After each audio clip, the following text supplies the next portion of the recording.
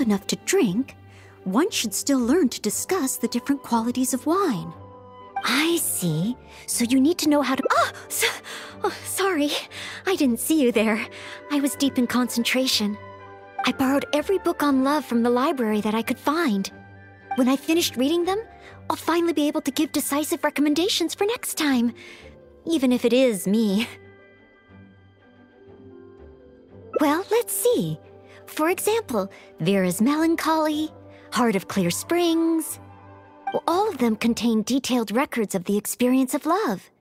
As a maid, my experience leaves a lot to be desired. So I found the quickest way was to take examples. There's also a guide to tavern chat and shortcuts to love. These are much more practical in nature. And then there's this one. This book's about. Hmm. Hmm? No, nothing. This book. It's too early to read this book. L let's look at another one. You have to learn the basics first, after all. Uh, so this book is about. Huh? S same as that one? Guess this must be a pretty. common topic. Looks like I still have a lot to learn.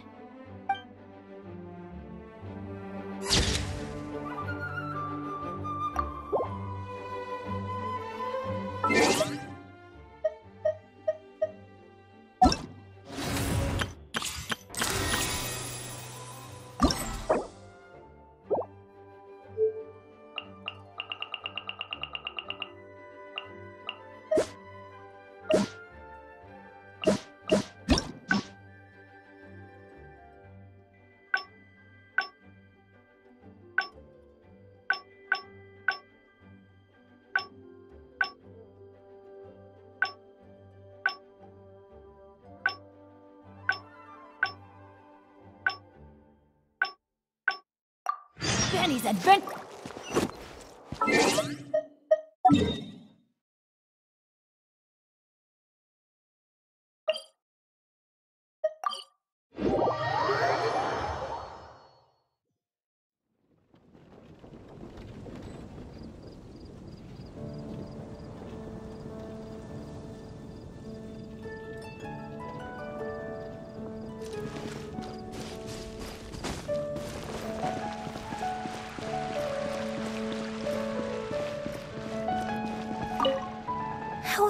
Am I ever going to get...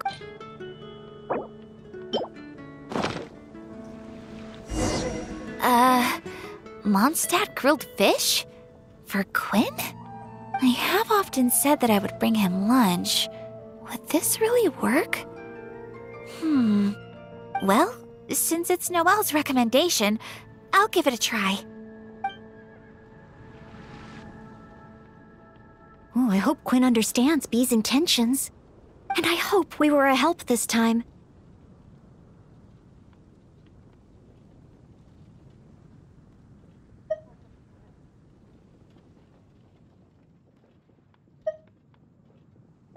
Oh, apologies, by the way. I said we would take a break and ended up bothering you instead. Oh, if you're peckish, just let me know. I can whip something up for you right away.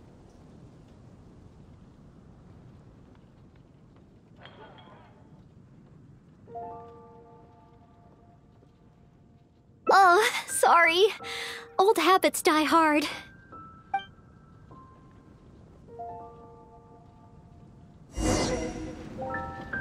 You know, I, I'm still a little worried about how Bee is doing. There's no stopping you once you're concerned about someone, huh?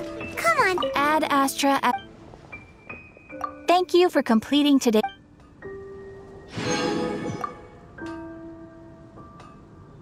Ad Astra.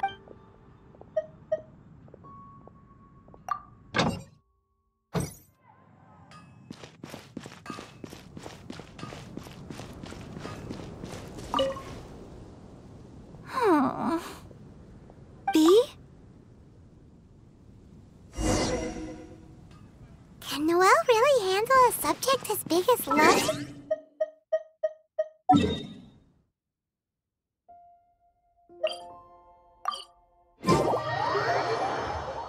We should head to the library and see how she's doing.